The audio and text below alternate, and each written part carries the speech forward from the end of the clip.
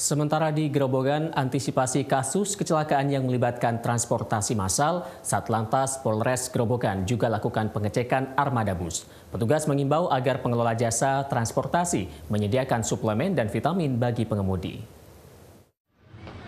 Satu persatu bus yang berada di terminal kota Purwodadi disambangi petugas untuk dicek kelaikan jalan. Tidak hanya kelengkapan surat, kelengkapan komponen juga diperiksa, mulai dari wiper, klakson, rem, lampu sen hingga baut roda. Dari hasil pemeriksaan, petugas menemukan sebuah bus yang tidak memiliki pintu di sisi kanan sopir.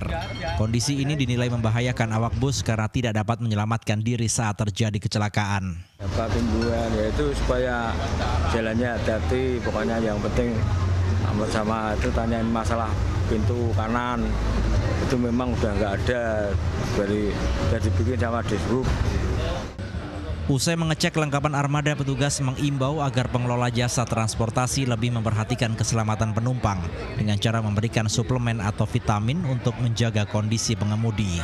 Untuk selalu menjaga kesehatan, karena salah satu faktor secara tidak langsung nanti dari pengemudi untuk lebih menjaga dan dari pengemudi, apa dari pengelola tadi juga sudah memberikan suplemen ya suplemen dalam artian untuk memberikan vitamin kepada pengemudi untuk kesehatan para awak kru bus demikian. Peningkatan intensitas pemeriksaan armada digelar saat lantas Polres Gerobokan menyusul terjadinya kecelakaan maut yang melibatkan angkutan massal di Jawa Barat pekan lalu. Warga diminta berperan aktif untuk lapor petugas jika melihat bus ugal-ugalan dan membahayakan keselamatan berkendara, khususnya di wilayah Kabupaten Grobogan. Suswanto Saputro melaporkan untuk NET.